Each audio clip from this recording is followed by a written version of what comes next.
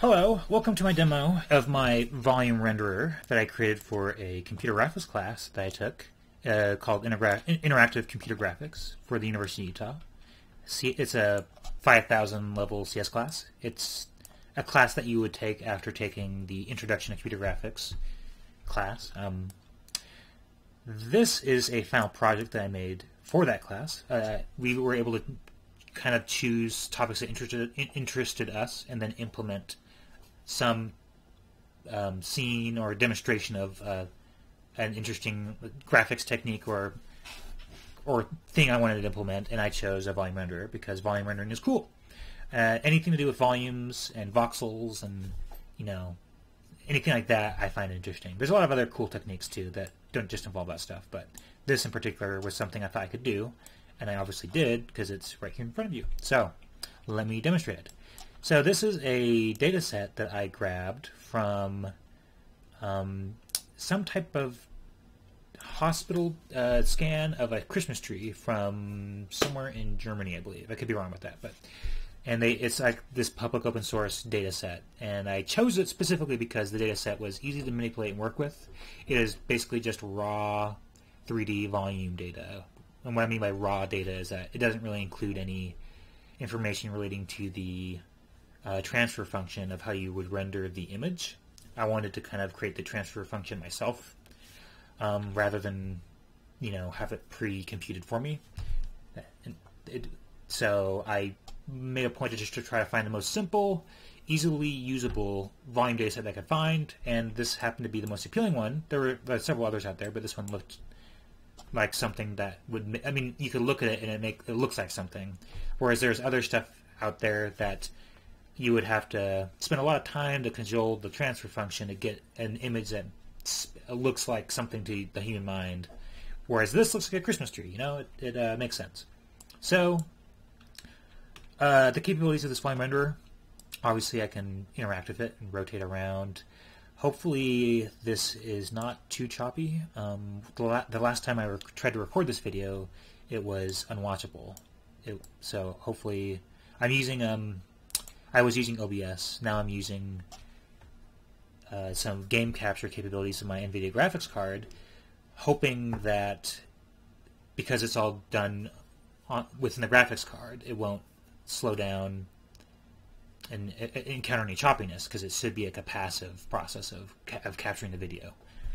Uh, my impression of it is that that's the way it works. So hopefully this looks smoother than it, it, the then I mean, hopefully there's more than one image a second. Let's put it that way, because the frame rate I was getting was pretty terrible. So we can zoom in and out.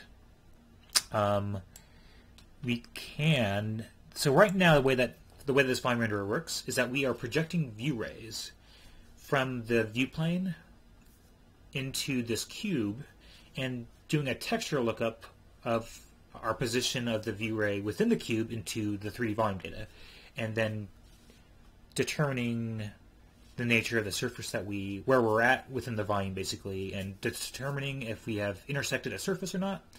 What my renderer does do is it, it, and this is all done in shader code mind you. So we project view rays in shader code. The CPU is really not doing the, the, the ray casting. So it's it's as expensive basically for every view ray we're going we're, we are just the the performance of this process is, is as efficient as the longest tra- uh, traversal of the the, the view ray, basically. So it's it, even though we're kind of it on some level it's not very efficient to do that in a graphics card because like some view rays project longer than others so and because it's all super parallel um, and and all the processing is kind of done in these large processing groups and the task takes as long as the long the longest task it takes to complete for like that the, the work the worker group or whatever you can end up wasting a lot of resources. But it ends up still being a net positive to, to render on the graphics card still even though there is some inefficiency with kind of this approach to volume rendering.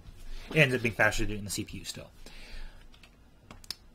Um, so yeah um, we can the and the, what this is demonstrating is that when the view ray hits a surface, it will immediately stop the ray casting process and just kind of report back a color, and that's it. It doesn't kind of inter- doesn't continue along its uh, traversal and collect kind of more colors and then do something that is a, like a it doesn't do anything with that composites the background color. At least I don't think this approach does. Yeah this one yeah, this one is a ray cast we're not doing any transparency whereas if I hit a button here and then suddenly we get transparency so what this does is this will kind of accumulate colors but it will kind of have some alpha transparency where it can be semi-transparent so that the view ray can continue a little bit until it's the color that's accumulated is opaque and there's no point to continue to collect the color if that makes sense. So there there's a bit more um, subtlety to the image that this this generates, which is why we're kind of getting this interesting in effect with the, the coloring here. And I, I kind of subtly changed the way that I accumulate the color with this process just so it looks a bit more distinct. But another thing we can do is kind of increase or decrease the step size of each traversal down the view ray of this volume renderer. What that means is that we kind of have higher precision, more detail for the the image that we're the, the, the volume data set that we're projecting into, but it kind of subtly impacts the the end color that we get because bear in mind we're accumulating color as we kind of go through.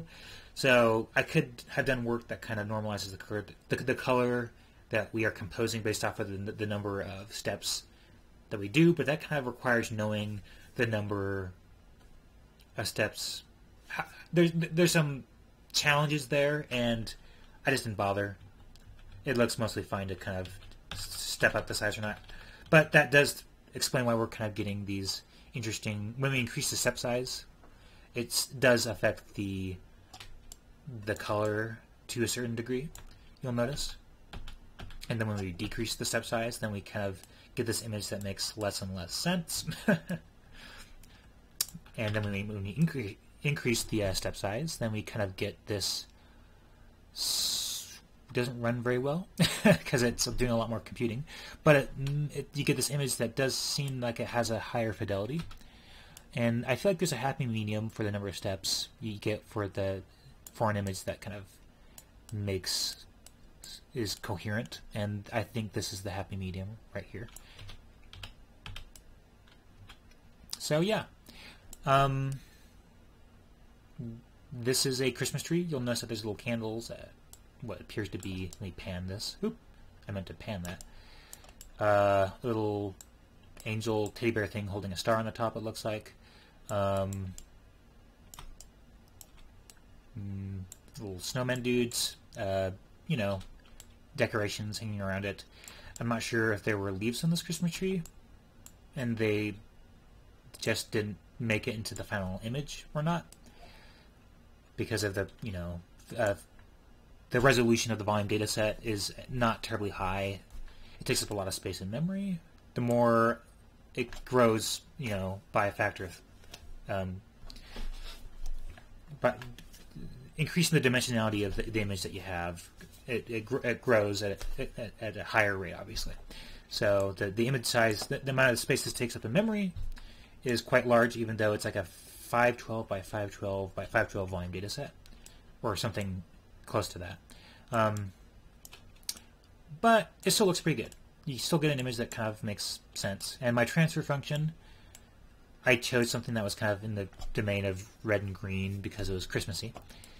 Um, and it, you kind of get this image that, image that makes some amount of sense.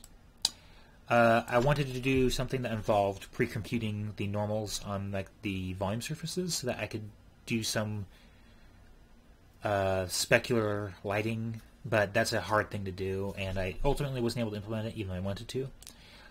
But it would basically it would have involved pre-processing the volume data set and using um, central differences method to calculate the normals on any given point in the volume data set by kind of like evaluating the nearby voxels and looking at those densities and basically trying to find the the normal based off of the adjacent voxels for any given point.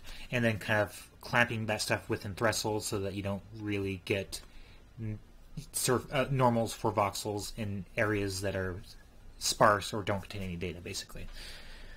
and then kind of smoothing it out using some type of averaging method as well. For it, the, the, the, there's a lot of work that would go into that, and I wasn't able to. Get, I was I was I gave a first go at it, and the results I got didn't look like they were working, and I didn't spend a lot more time on it. That is something that I would like to implement at a later date. You could also do stuff like shadowing and shading. Um, you, you can project shadows into volume data sets with with uh, by pre-computing things as well, and that might have been easier in, on some level than doing the. Well, maybe not, but it would have been a, a different challenge that might not have been quite as involved as as doing finding the surface normals for a volume data set. Anyway, this is my volume renderer. It looks pretty nifty, as you will notice. And, um, yeah, I think I might have another video in me for another project, but this is my, I think this is my, one of my, the more interesting projects I've done. Volume, because, you know, volume imaging and volume data is kind of cool, and you ever get the chance to kind of like look at volume data sets for brains or, you know, tissues or things that are kind of cool to look at on the inside that you wouldn't normally be able to look at, I would recommend it. Like you can look at there's there's all sorts of publicly available volume data sets and volume imaging software that you can actually get and look at, at, at some cool stuff out there. And I would recommend trying it out. Even if you're not really interested in implementing your own volume renderer, it might be cool just to look at some volume data sets. They they, they even have them in some uh, exhibits in like uh, science museums, you know, natural history museums and stuff. I've I've seen like kiosks with like giant touch surfaces that kind of let you do interact with them. In fact, I actually worked on on a creating like a, a demo, uh, some software that kind of demoed some volume data sets for the U for a professor. We were just trying to we were basically just trying to take some existing open source software and and use it to demo some of their Vine data sets on like these giant Surface tablets. It was pretty nifty. So uh, thanks for watching this video.